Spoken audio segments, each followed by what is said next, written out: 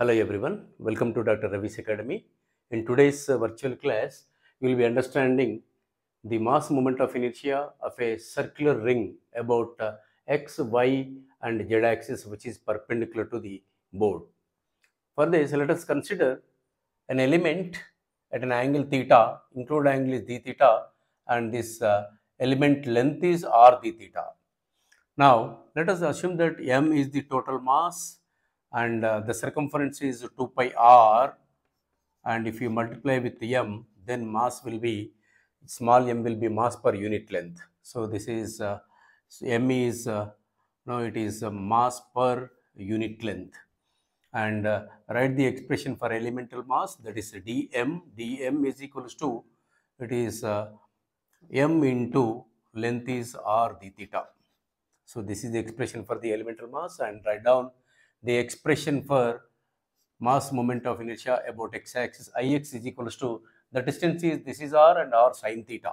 So, integral it is r sine theta whole square that is distance square into dm. So, substitute dm value you have uh, m is constant and r is constant this is r square. So, you are going to get m r cube which is outside and integral sine theta that is sine square theta d theta and limits are 0 to 2 pi. And this is a standard integration and value is pi.